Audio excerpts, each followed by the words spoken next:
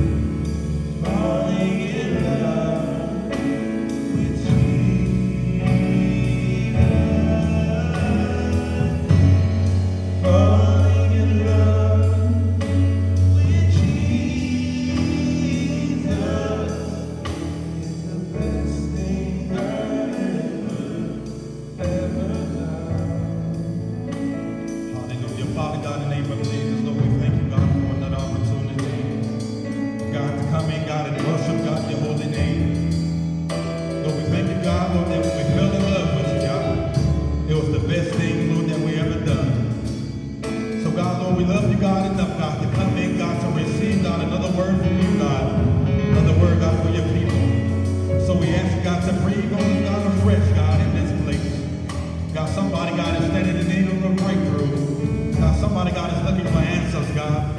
God, to their problems, God. Lord, we thank you, God, for how you're working things out. Lord, we thank you, God, for how you're turning things around. Lord, we give you praise. Lord, we give you glory, God, for what you've done. Lord, we thank you, God, for what you're doing right now. And Lord, by faith, Lord, we thank you, God, for what you're getting ready, God, to do for us. So, Lord, God,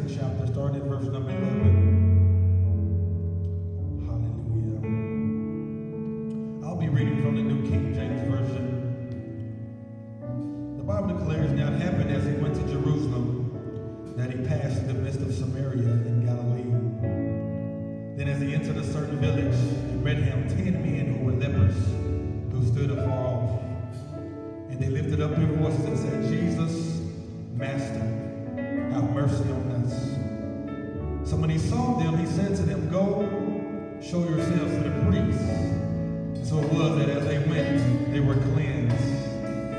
And one of them, when he saw that he was healed, returned, and with a loud voice glorified God, and fell down on his face at his feet, giving him thanks. And he was a Samaritan. Flip over to 1 Thessalonians 5 and 18. 1 Thessalonians, chapter, starting in verse number 18. The word of the Lord declares, In everything give thanks, for this is the will of God in Christ Jesus concerning you. Read that one more time. In some things, in a few things,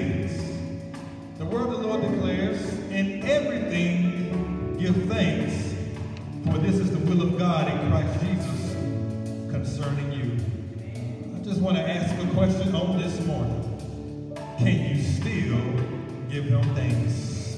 You may be seated in the presence of the Lord. Can you still give him thanks? One of the greatest challenges that we will ever have as believers in Christ is to tell God, thank you, in the midst of adversity and opposition. I believe we can all attest to the fact that it's, it's relatively easy to tell God thank you when things are going well. And oftentimes, people of God, we come to different seasons in our lives when it's hard to tell God thank you. It's easy to thank Him when all of our bills are paid. It's relatively easy to thank Him when we are in good health. It's easy to thank God when things are working in our favor. But it's relatively difficult to tell God thank you when your faith has been tested. When the good days turn into bad days. When sunny days turn into stormy days. It's hard to tell God thank you.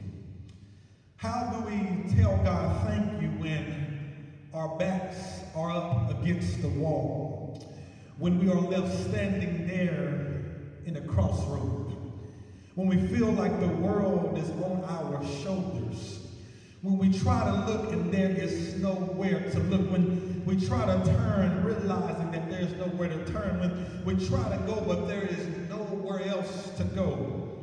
But Paul, people of God, he urges us in 1 Thessalonians, the fifth chapter, verse 18, in everything give thanks, for this is the will of God in Christ Jesus concerning you. Some of y'all have come into the house of the Lord this morning and you are standing right there at a crossroad.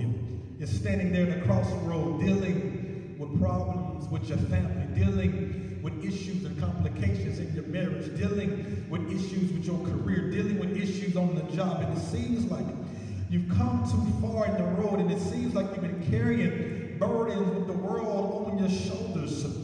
But I would like to propose a question for you on today, child of God. Can you still give him thanks? So as we dribble through the text this morning, the lepers, we are here in the Gospel of Luke, the 17th chapter. The lepers, they are standing at a crossroad. They're in a season of their lives when there's a fork right in the middle of the road because they have a condition called leprosy. Leprosy is also known as Hansen's disease. It's the name for a disease that is caused by microorganisms involving bacteria. Leprosy begins with brownish red spots on the face, ears, forearms, thighs, and even your buttocks, which later become thick and nodules with subsequent loss of tissue and then contraction and deformity. So leprosy is also characterized by numbness, or an affected area of the skin and deformities such as fingers like claws resulting from paralysis and consequent muscle wasting. So when we look at the lepers, people of God, we do not know how they ended up with their condition. Maybe perhaps the lepers, they were born with this condition of leprosy. Maybe sometime in their lives as they were living, as they were growing up to be men, the leprosy came at some points of their lives. But what we do know is that the lepers, they have a condition that only God can fix. And some of y'all in a situation right now, you don't know how you ended up with this particular condition in your life. Life just happened. Things just came up and, and you have a certain condition that you're dealing with. And I'm here today to let you know that only God can fix it. You've tried everything else. You tried different avenues. You, you went to different places, still leaving with dissatisfaction. And the reason why you're still dissatisfied about uh, the stuff that you have to go through is because uh, you're in a condition that only God can fix. So the Bible tells us as Jesus is entering into this certain village, the lepers, they stood afar off. So as Jesus is passing by, the Bible instructs us that the lepers are standing afar off. Pastor, why are the lepers standing afar off away from the general population? Well, according to Leviticus 13 and 46, Levitical law stated that anyone who is ceremonially or ritually unclean, the person must live alone and he or she must live outside of the camp. So the ten lepers, they are the outcasts. They, they have now become disenfranchised, all because they have a condition called leprosy. Verse 13 declares in the Gospel of Luke, the 17th chapter, that they lifted up their voices and said, Jesus, have mercy on us. So the ten lepers, they had enough sense to call on the name of Jesus. They, they praised him right there on the spot. They worshiped him for being the master, and they submitted a petition to Jesus to have mercy on them. The Bible tells us in verse number 14, and so when he saw them, he said to them, Go show yourselves to the priests. And so it was that as they went, they were cleansed. And one of them, somebody shout, one of them. One of them, when he saw that he was healed, the Bible declares that he returned. He, he, he returned and, and went to God with a loud voice and he glorified God and fell down on his face at his feet, giving him thanks. And he was a Samaritan. So out of all the ten lepers here in the text, people of God, only one decides to turn around and go back to give thanks. So I began to wonder, people of God, I, I began to wonder why didn't the other nine lepers go back to tell God thank you?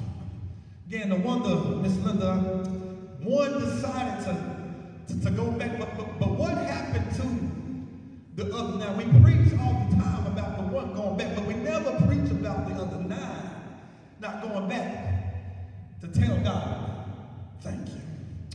So one reason why I believe that the other nine didn't go back is because they were tired of receiving the same results. They were, and they were tired, they were frustrated uh, with receiving the, the same results. They tired of receiving the same old bad news, dealing in the same situation.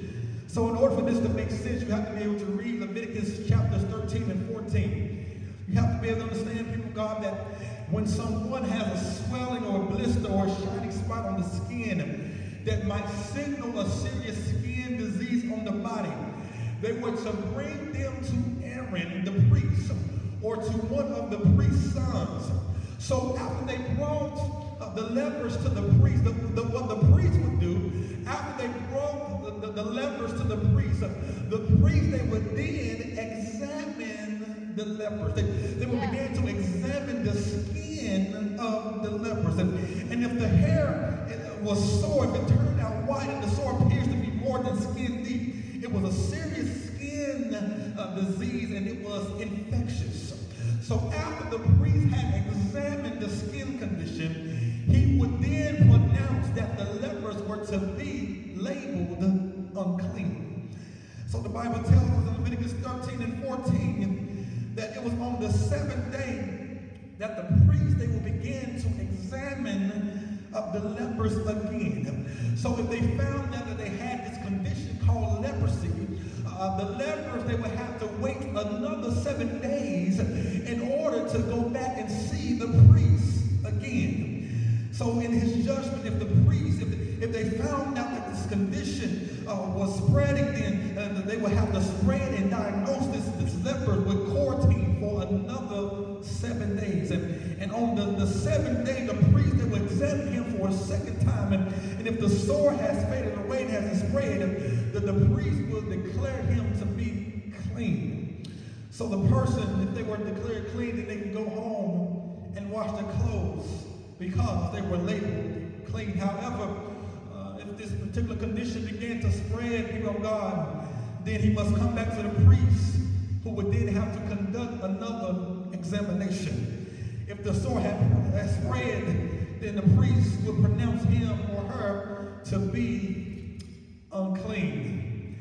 So, people of God, in for this to make sense, so the lepers, I want you to put this in today's society. When you look at the lepers and their condition, they would not go away, that they had this condition, and as a result, they ended up with the same results day after day, week after week, month after month. So the lepers, they are frustrated with going to church, going to see the priest Sunday after Sunday, and being diagnosed, being the outcast from the crowd. And so how in the world,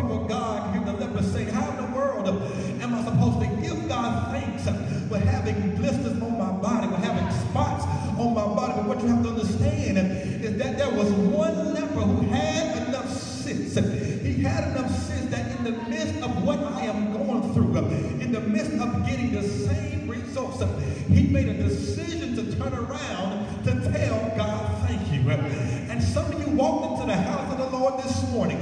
You got complications. You got issues. You got problems that you're dealing with. And you're saying, Pastor, I've been coming to church. I've been faithful. I've, been faithful in my giving. I've been faithful in my attendance. I've been faithful with God. And, and it seems like I'm getting the same results week after week, month after month, day after day. But Thessalonians 5 and 18 that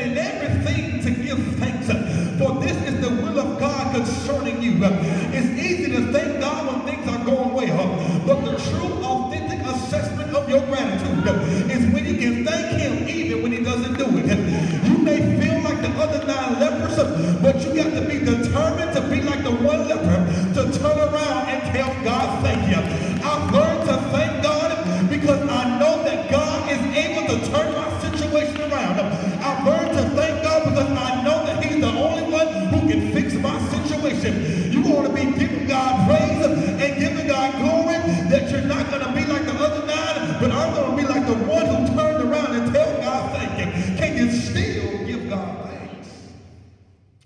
So can you still give God thanks? So these lepers, people of God, that, um, they, they had this condition of leprosy and once you dribble over to Leviticus, the 14th chapter, the Bible tells us that when they brought the lepers to the priest, they would take the lepers outside of the camp. They would take them outside of the camp and they would perform an examination. So another reason why the other nine probably didn't tell God thank you is because nothing was working in their favor. Nothing was working in their favor. And, some of you, you may feel like the other nine. Lord, it seems like things are working against me. It seems like things are relatively difficult in my life to tell you thank you. And, and Jesus, people of God, you have to understand that there's nothing against Jesus. And, and some of y'all can testify that you're in a place right now where it seems like nothing is working in your favor. Lord, I've been trying my best. I've been trying to do what's right. I've been trying to go to church. I've been trying to be faithful. But it seems like nothing is working in my favor. So the priest, they would take the lepers outside, outside of the camp, outside of the camp. They, they will remove them from the general population and the lepers. They will remove and separate them from their family. So the lepers, they would have to abandon their houses. They would have to abandon their families. They would have to leave their relationships with friends and value those relationships from afar. So all the ten lepers, they, they were ready to go back home in a fast manner and hurry because nothing was working in their favor. But once decided to make up in his mind that although things are not working in my favor, I'm still going to take the time out to tell God thank you. And I got some people here who can testify, Pastor, things are not working out for me this season in my life. Some of you got health challenges. Some of you got financial challenges. You got things that are not lining up, things that get off track in your life. But you got to understand, people God, that Paul says once again, in give God thanks for this is the will of God. And I know some stuff you don't understand why it's happened to you, but the best thing you can do, child of God, is to tell God thank you. Lord, I thank you for every valley that you take me through. Lord, I thank you for every mountain that I have to climb. Can you tell God thank you? Hallelujah. You got to tell God thank you. So the lepers, people of God, whenever the lepers were uncleansed, after washing all of their clothes, they would then have to shave off all their hair. So the ten lepers, they had to cut off their hair to show everybody that they were pronounced unclean. In essence, in the midst of them being processed, the lepers, they, they lost some stuff along the way. At first, they had the hair, but because of their condition, they lost their hair. So they probably didn't want to cut the hair, but through the process, through their situation, they had no other choice but to cut their hair. So as they cut their hair, some of them, they probably lost their self-esteem. They probably lost their confidence. They, they probably lost the desire to even live again. So the lepers have been through a lot leading up until now. And the other nine lepers had every reason not to turn around. But the Bible, once again, tells us that there was one who decided to turn around to tell God thank you. And I don't know what you lost this season in your life. Some of you lost your joy. Some of you lost your peace. Some of you lost a job. Some of you lost some loved ones. But Paul reassures us again that in everything to give God thanks. For this is the will of God concerning you. Can you still thank him for everything that caused you to lose your confidence? Can you still thank him for that situation that caused you to lose your self-esteem? Can you thank God for everything that you had to endure? And David reminds us That I will bless the Lord at all times. And his praise shall continually be in my mouth. And I just want to know, can anybody thank God that you can bless the Lord at all times? With trouble on every side, with complications in my life, I decided to bless the Lord at all times. So I can recall, people God, that during my professional basketball career, playing professional basketball overseas in England for the Newcastle Eagles, the coach calls me into the office, Ricky, we're deciding to release you. And you know, I, I know what Paul says and, and, and, everything to give thanks, but but God, how, how can I thank you when I just got released from my job, Lord? I, Lord, I, I had to fly about 13 to 14 hours from, from England to Chicago, Chicago back to Chattanooga. Lord, how the world uh, can I have the determination to, to tell you thank you? Lord, how am I supposed to tell you thank you? So, so, so, so when, uh, even in business, when, when expenses exceed revenue for the week, Lord, how in the world uh, am I supposed to tell you thank you? Uh, and I was reminded of what Paul even tells us, reminds us in Romans 8 and 28,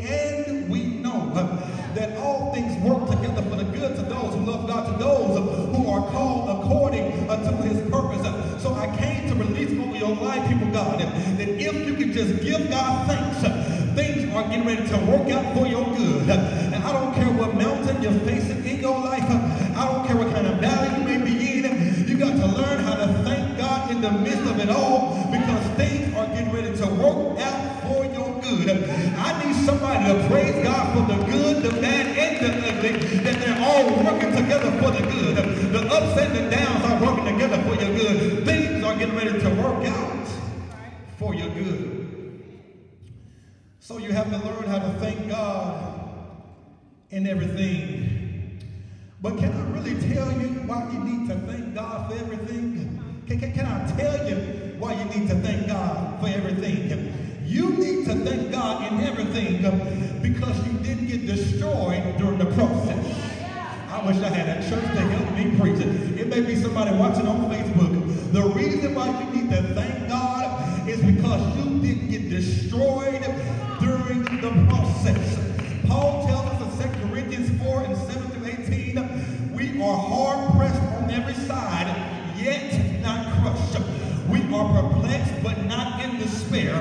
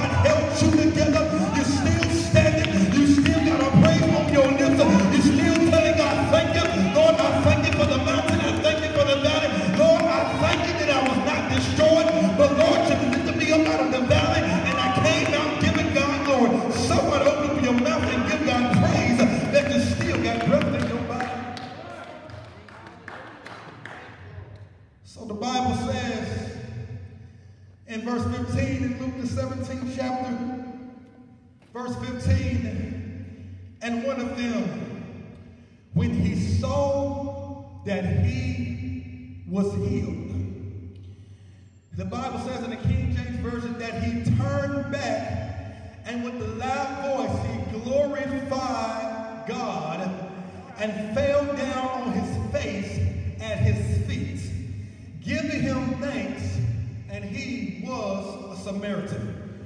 So there was only one leper who realized that while I am still here, I am going to return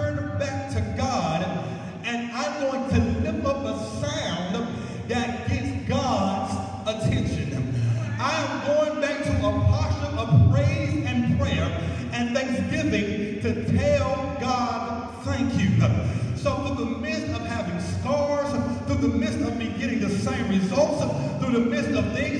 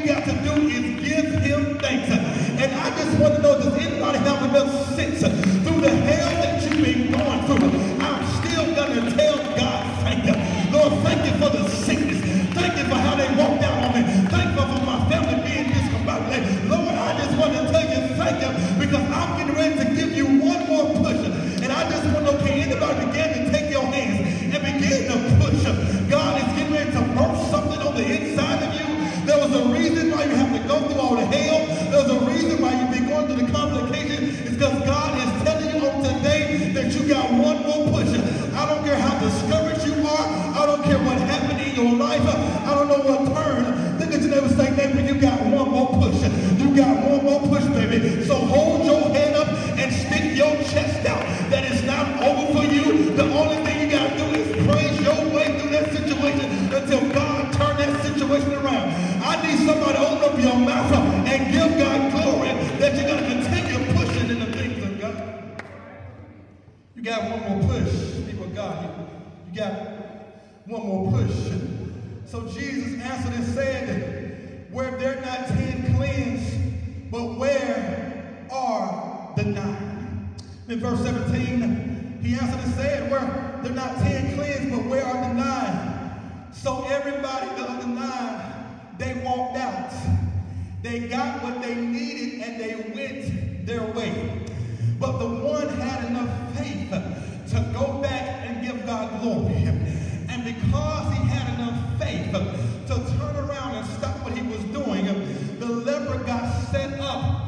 miracle.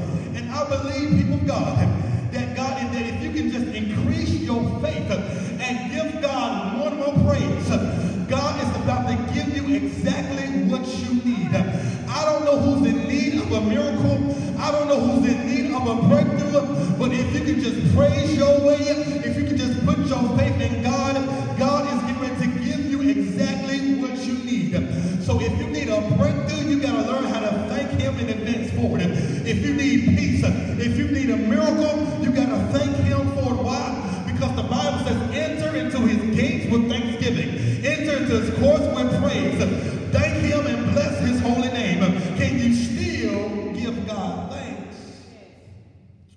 got to learn how to give God thanks. So as the musicians begin to come, I want to leave you with one scripture in 2 Corinthians uh, and 1 uh, Thessalonians 5 and 17. 1 Thessalonians 5 and 17. It's the scripture right before 1 Thessalonians 5 and 18. I'm going to read it. It says, pray without ceasing. Pray without ceasing. So this simply means that no matter what you're going through, you still have to take on the posture of prayer. So you got to pray without ceasing. So no matter how difficult it gets, you got to learn how to pray. Way through some stuff. Once again, push P-U-S-H. Pray until something happens. Some of you got to praise until something happens. But if you don't get anything out of the service on today, Paul says that in everything to give God thanks. For this is the will of God. The will of God in Christ Jesus concerning you. Some of y'all can testify in this place that you've been in some situations where it's hard to tell God thank you. Lord, I got problems on every side. Lord, it seems like pressure is on me We're dealing with financial issues, financial crisis, dealing with marital issues, dealing with financial stuff. This stuff has been coming left and right in your life. The Lord spoke to me on this past week Ricky, can you still give me thanks? I have complications even in my life, even as a senior pastor of this church. Yes, I'm going through just like everybody else is going through. But the Lord stopped me. Ricky, can you still give me thanks? With trouble, with insurmountable circumstances, God is asking, can you be like the one leper to tell me thank you? Everybody standing to your feet. Hallelujah. Some of you have been like the lepers. You have a condition. You have a problem, issue that you're in right now. Some unforeseen circumstances have creeped up on you and they caught you by surprise. You didn't see it coming. You don't even know how, Lord, why am I in this situation? Lord, why did this have to happen to me? God is asking you, can you still give him thanks even in the midst of it? Can you still have a heart of gratitude? Can you still have the faith to believe, God, Lord, that no matter what I'm going through, Lord, you're able, God, to work it out for me. Hallelujah.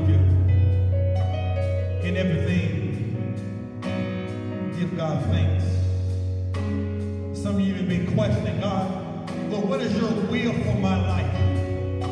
Or what am I supposed to be doing? The one thing that you can always do is to give God thanks. You may not understand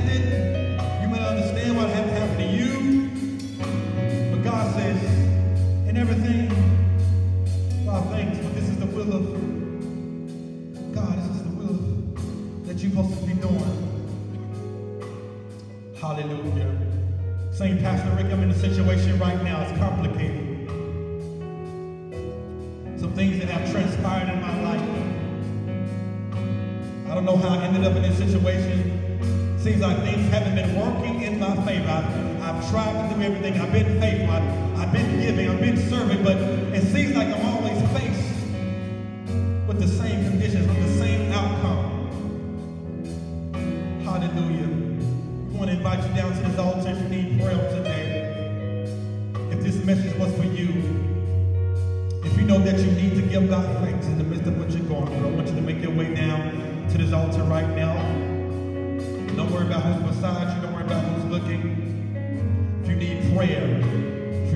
intercede on your behalf, I'd like to invite you down to this altar.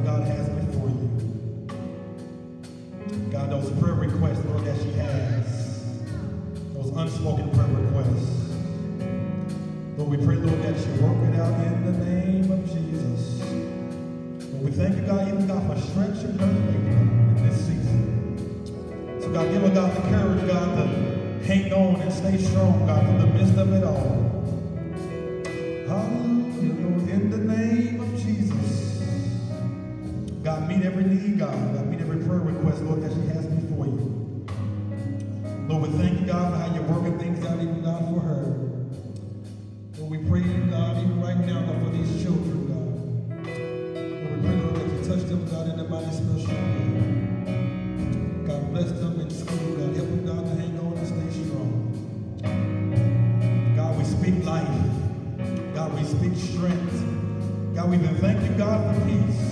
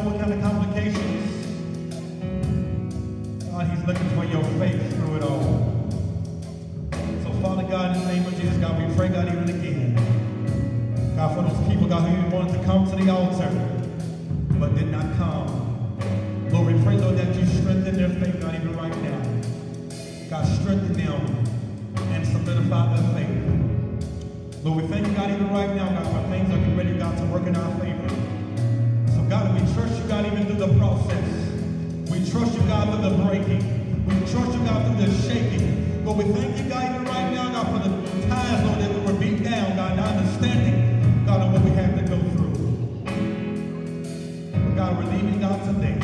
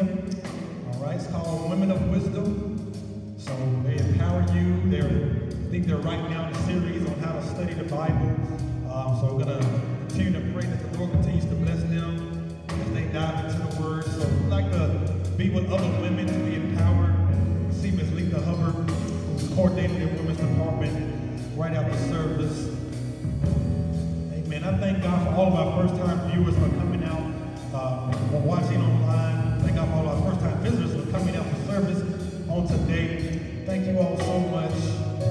We're standing to our feet with our tithes and our